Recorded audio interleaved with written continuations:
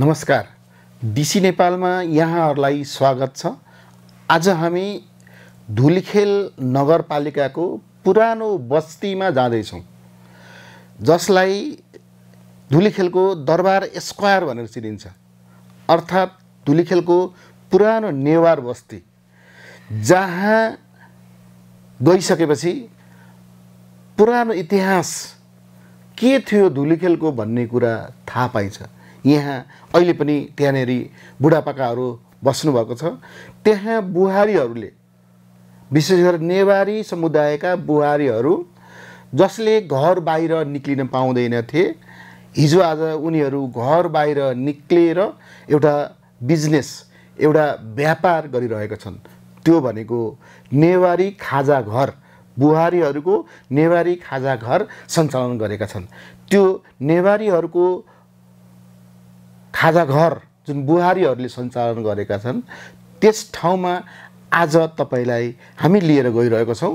त्यो ठाउँ त्यही धुलीखेलको दरबार स्क्वायरभित्र पर्दछ। बनाउनु भएको? यो छेला। छैला। हजुर। भनेपछि के छैला यो त? यो ठुलो खसीको डाँडा हजुर। अब यो धुलीखेलको पुरानो बस्ती हो नि यो? पुरानो बस्तीमा नेवारी खाजा घर यहाँ के के परिकारहरू बनाउनु अब यहाँ अब यो छेला भयो। सब। त्यो भुटन भयो अनि सेकुवा अनि सेकुवा भयो सेकुवा अनि त्यो के? अचार भयो आलु। आलु।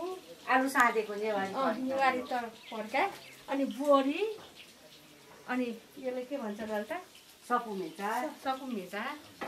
त्यसले किमा चाहिँ यहाँभित्र चाहिँ राको डाकाला भन्छ। डाकोला यहाँ छ यो प्याज हाम्रो प्याज। यहाँहरूको चाहिँ यो प्याज डाकाला कहिले यो हजुरहरूले कहिलेदेखि सञ्चालन गर्नुभएको? यो हामीले धेरै भएको छैन। अस्ति पच्चिस गतेदेखि हामीले त्यसरी किलोमिटर छे भनेर राखेको त खोलेको यिनी मजाले बुहारी अँ, सब बुहारीहरू सबैले काम पाओस् भाषाले भन्ने। बुहारी भन्छ। ए हामी नेपाली भाषामा बो के अरे? निवार भाषाले इल्मचा इल्मचा भन्छ। भयो, अनि नेपाली। नेपाली भाषा चाहिँ बुहारी। अनि बुहारीहरूको सङ्गठन छ? सङ्गठन हजुर अनि सबै त्यो सङ्गठन कतिजना हुन्छ बुहारीहरू यसमा? हामीहरू दस बाह्रजना दस दस बाह्र बाह्रजना बुहारीहरूले भत्रै खोल्नु भएको छ। हजुर हजुर मिलेर। अनि यसको जस्तै पुरानो नेवारी कल्चरलाई स्थापित गरिराख्नको लागि। भन्नको लागि तपाईँले गर्न खोज्नु भयो अब यो माली बाह्र चटमाली सबै सबै छ होइन? भनेपछि तपाईँहरूले जस्तै नगरपालिकासँग तपाईँहरूसँग कुराकानी हुन्छ होला नि त। के नगरपालिकाले तपाईँहरूलाई कसरी के सहयोग गरिरहेको छ के गरिरहेको छ? सहयोग अब उहाँले गर्छु भनिरहेको छ होइन तर अहिले हामीले सहयोग त लिएको छैन। उहाँले लिनु गर्नु भनिरहेको छ तर हामी बुहारी बुहारीहरू मिलेर पैसा राखेर अहिले गरिरहेको छ। नकुरमा लिने जब नगरपालिका गार्जन हुन तयार छ। तयार छ। उहाँहरूले पनि दिन हामीलाई तयार छ। आउनुहोस् आउनुहोस् भनिरहेको छ अनि अब तपाईँ यो तपाईँको विभिन्न मिठो त्यो चाहिँ बासना मिठो आइरहेको छ होइन? अब यो यो परिकारहरू जुन खान आउने जुन ग्राहकहरू हुनुहुन्छ नि उहाँहरूलाई के अनुरोध गर्न चाहनुहुन्छ? अब उहाँहरू सधैँ आओस् खाओस् त्यही त हो नि होइन? मिठो मानेर खाओस् पकाएको त्यही हो। उहाँले आएर त्यो खाएर नमिठो नभनोस् होइन? नराम्रो नभनोस् छोरी नभनोस् त्यही त हो नि। धुलीखेल नगरपालिकामा हामी आएका छौँ। धुलीखेल नगरपालिकाको पुरानो नेवार बस्ती जसलाई नारायण थान भनिन्छ अहिले धुलीखेल नगरपालिकाको वडा नम्बर सातमा रहेको छ। यो ठाउँ तपाईँले एकपटक हेर्न आउनै पर्ने ठाउँ छ। पर्यटकहरूको लागि एउटा रेस्ट गर्ने खाजा खाएर जाने एउटा खाजा घर पनि बनाएको छ। यो खाजा घरको विशेषता तपाईँले जुन देखिरहनु भएको छ यहाँ बुहारीहरूले खोलेको खाजा घर हो। यहाँ दस बाह्रजना बुहारीहरू मिलेर संयुक्त रूपमा आफ्नो खुत्रुकेको पैसा जम्मा गरेर उहाँहरूले यसलाई सञ्चालन गर्नुभएको छ। जसले गर्दाखेरि आज हामी यो नेवारी खाजा घरमा आएका छौँ। यहाँ उहाँहरूसँग हामी कुराकानी गर्दैछौँ। उहाँले तपाईँको आफ्नो परिचय दिएर बताइदिनुहोस् न यसको यो किन खोल्नु भएको हो भनेर। नमस्कार। मेरो नाम दुर्गा लक्ष्मी योगल हामीले चाहिँ यो एउटा पर्यटक स्थल हाम्रो यो ठाउँलाई चिनारी होइन यो अ, लाची नारायणथान जुन लाची भनेर चिनिन्छ त्यहाँ चाहिँ एउटा अब हामी एउटा शून्य बस्ती भयो क्या यहाँ। मान्छे एउटा हिँड्ने ठाउँ होइन। केही नभएको हुनाले अब हामीले चाहिँ एउटा पर्यटक स्थल बनाउने हिसाबले एउटा यो खोलेको हामीले चाहिँ। बुहारीहरूले मिलेर गरेको भन्ने छ। यो चाहिँ एउटा अब बुहारीहरूले त मिलेर गर्ने अब घरबाट बाहिर पनि निस्केको छैन नि त होइन। पहिला पहिलाको जस्तै घरमै बस्ने। त्यो हुनाले अब बाहिर आओस् जुन स्वरोजगार पनि होस्। अब एउटा हाम्रो तपाईँले अघि भन्नुभयो हाम्रो खुत्रिका महिलाहरूलाई पनि सशक्तिकरण हुने। प्लस नेवारी कल्चरको पनि विकास हुने। र यो पुरानो बस्तीको पनि एउटा पर्यटक स्थललाई स्थापित गर्न सकिने। यो। उद्देश्य राखेर तपाईँहरूले गर्नुभएको छ। तपाईँ यसमा सहभागी हुनुहुन्छ नि टिममा? है? हजुर। ल जस्तै यहाँ कुन कुन खाजाको परिकारहरू हुन्छ भनेर। ए हाम्रो चाहिँ अहिले स्पेसल यहाँ धुलखेलमा चाहिँ प्याजकुवा भन्ने पाइन्छ कि? त्यो चाहिँ कुनै ठाउँमा पनि पाइँदैन। कस्तो हुन्छ त्यो स्वाद? प्याजको चाहिँ प्याज करी हो एउटा। अनि त्यसमा चाहिँ मासु पनि राख्ने गरेछ भेज पनि हुन्छ। त्यो चाहिँ अरू ठाउँमा पाइँदैन यहाँको स्पेसल हो। अरू अरू अरू अरू चाहिँ अर्को प- प्राय सबैको एउटै हो। खाजा सेटहरू टिपिकल भुटनहरू टिपिकलहरू अनि हाम्रो चाहिँ त्यस्तै बारा योमारी अनि छ्याङहरू। छ्याङलाई चाहिँ हामीले ठोँ भन्छ कि। यो धुलीखेल आउने पर्यटकहरूलाई के अनुरोध गर्नुहुन्छ तपाईँ? ए आउनुहोस् यसो घुम्नुहोस्। हाम्रो धुलखेललाई यस्तो तपाईँहरूले सहयोग गर्नुपर्छ होइन? अब पर्यटकहरू आउँदाखेरि त हाम्रो विकास हुन्छ। हजुर। अँ, यो- लोकल- यो- यो ठाउँमा आउनको लागि जस्तै धुलीखेलको बस पार्कबाट कसरी कसरी कुन कुन चोक हुँदै आउनुपर्छ भन्दाखेरि के भन्नुहुन्छ? अँ, धुलखेलको बस पार्कबाट चाहिँ हाम्रो दुईटा तिनवटा डिरेक्सन छ है। हजुर। तिनवटा डिरेक्सन छ। सिन एउटा सिन्धुली हाइवेबाट आउनु मिल्यो होइन? सिन्धुली हाइवेबाट आउनु मिल्यो। एउटा बस पार्क घुमेर सरस्वती बजारबाट आउनु मिल्यो। एउटा चाहिँ सिधै डाइरेक्ट हुन्छ। त्यो जुन बस पार्कमा झरेर राइट लागेर हामी सिधै आउँदाखेरि नारायण नारायण स्थान भनेर सोधेपछि जुन फेरि यो चाहिँ धुलखेलको मेन चोक पर्यो कि? त्यही भएर पनि हामीले यो ठाउँलाई चाहिँ छानेको हस् धन्यवाद है त हाम्रो यो नारायण खान जुन चोक छ नि अहिले धुलीखेल नगरपालिकाको पुरानो बस्ती। यसको अलिकति कथा बताइदिनुहोस् न। यसको कथा यो चाहिँ तपाईँको यसलाई चाहिँ धुलीखेल होइन कि यो चाहिँ सिखलापुर हो। पुरानो नाउँ चाहिँ यो सिखलापुर हो। सिखलापुर भएको थियो पहिला चाहिँ अनि यहाँ चाहिँ कस्तो भने यो चाहिँ अरू ठाउँभन्दा एकदम चाहिँ अग्लो ठाउँ हो। यो धुलीखेल चाहिँ पछि तपाईँको चाहिँ यहाँ चाहिँ धेरै चाहिँ धुलो पनि उठ्ने।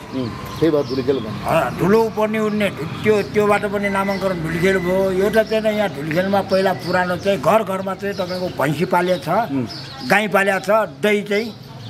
दही सबैको घरमा चाहिँ यहाँ त्यस्तो हुन्थ्यो। त्यो दहीको नाम चाहिँ यहाँ नेवारी भाषाबाट ढु भन्छ।